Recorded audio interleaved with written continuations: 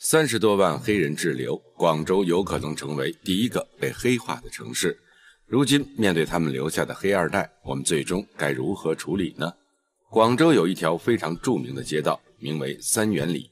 当年鸦片战争爆发的时候，当地不少居民都在这里抗击过英军，所以这条街后来也成为了知名的爱国主义教育基地。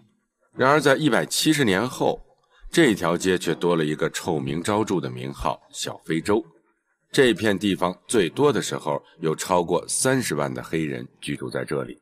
当年只要走进这条街，你会发现一半都是黑人，空气中弥漫的都是劣质香水的味道。其实，黑人来到广州大都市谋求发展无可厚非，但是其中有一部分人却不能按照我国的法律准绳正常活动。而是与当地居民产生摩擦，造成各种各样的犯罪。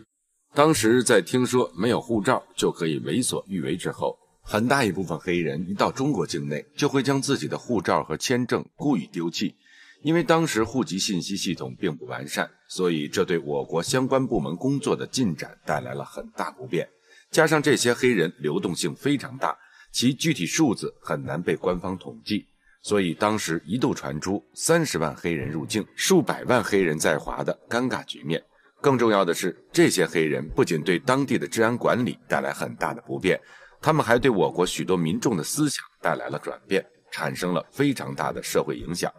因为是外国人，加上他们的宣扬，导致我国许多民众都有了崇洋媚外的情况。更过分的是，有些黑人还自称自己是美国人，然后用美国人的身份去勾搭我国女性。然后千方百计的想要与女子结婚生子，这样一来，他们就能够获得中国的居留权。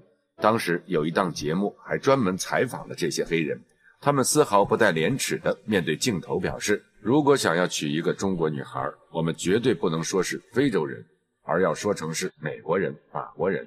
然而他们只顾自己，但是丝毫不顾及另一半和孩子。因为这些黑人都没有户口，所以导致这些孩子根本没法上户口，以至于他们没有户口证明，无法取得身份证、学籍。所以就有很多专家都表示，等这些孩子长大之后，很大可能会成为社会不安定因素之一。毕竟他们没有受过良好教育，而且在生活中还少不了被身边人讥嘲。因为一直处于黑户状态，加上肤色偏黑，所以这些孩子也被称之为“黑二代”。在黑人问题最泛滥的时候，有一位广州网友乘地铁时，甚至曾经拍到过这样一个视频。在视频画面里，网友所在的车厢里几乎都是黑人，这让他不禁担心起来：会不会因为黑人的繁衍速度实在太快，长期以往会让广州彻底黑化？虽然后来官方出面辟谣，那只是正好当天有个非裔文化论坛在地铁站附近举行。所以才会集中出现这些现象。不过，在考虑这个问题之前，其实我们可以先看看日本的案例。日本最早和我国广州的情况是比较相似的。为了谋求发展，也有很多黑人看中日本东京等繁华地段，去到那里谋生。起初，日本政府还是非常欢迎的，毕竟这是国际民众对这所城市的认可。但是久而久之，日本政府就发现了不对的地方。由于有些黑人好吃懒做，而且十分蛮横暴力，所以他们在日本当地犯下了许多罪行。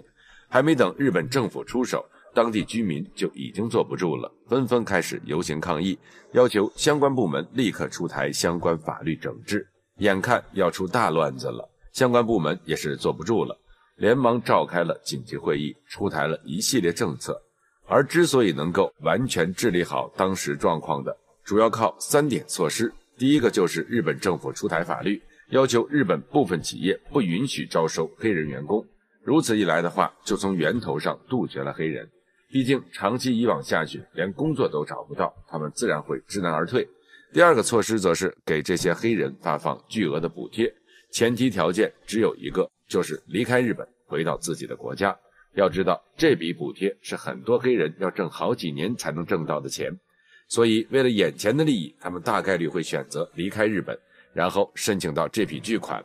而最后一点就是相关部门开展了非常严格的人口普查，找出那些偷渡者，然后将其遣返回国。也正是种种措施之下，日本的黑化问题如今已经好了许多。所以我国也从中吸取了一些经验，并根据我国国情开展了一系列的措施。其中最重要的就是出台了“三非”的管理政策。所谓“三非”，就是指非法入境、非法拘留、非法就业。其政策包括不限于对黑人从业、经商、生活等多方面的严格限制。总之，随着这项政策的实施，其效果立竿见影。截止到二零一八年，留在广州工作的黑人只剩不到两万人，而且全部是有合法居住权的。